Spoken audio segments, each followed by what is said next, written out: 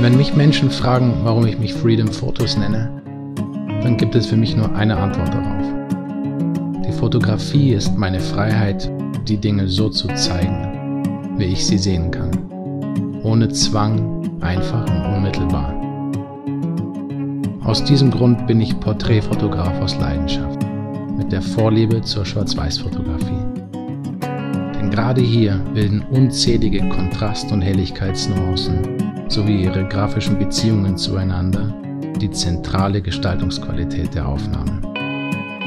Durch die Reduktion auf Strukturen, Licht, Schatten und deren Abstraktion entsteht eine enorme Detailtiefe und Klarheit. Natürlich mag ich auch die Farbfotografie, wenn sie durch besondere Momente und Lichtverhältnisse entstanden ist. Allerdings ist die Wahrnehmung von Farben eine rein subjektive Empfindung und lenkt daher vom Wesentlichen ab. Ein Schwarz-Weiß-Bild zeigt den Menschen immer genau so, wie er ist, in seiner ganzen Schönheit.